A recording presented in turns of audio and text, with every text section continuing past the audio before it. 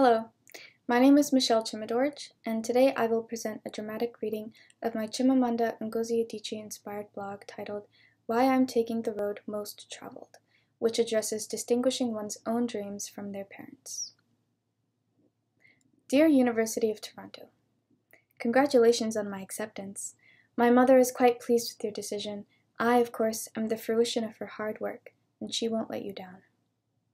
The story of parent living vicariously through child is especially common in immigrant families. Mine is this.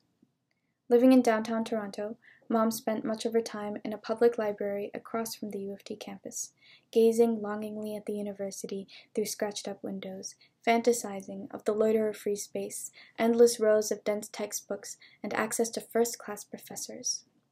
This privilege of possibility was a long shot goal for her, a single mother to be working two jobs in her third trimester. But with me, her unattainable dreams had a fighting chance in this city. She'd rarely outright say she wanted me to go to this school, but she always subtly nudged me in the direction of perfection through enrichment activities and extracurriculars. Now it's time for me to come into agreement with myself.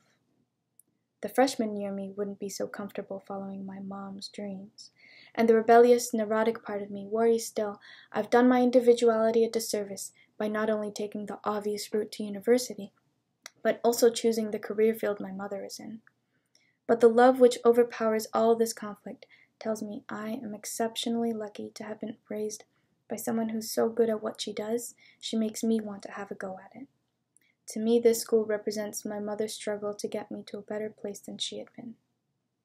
So, did you read all that fine print? No?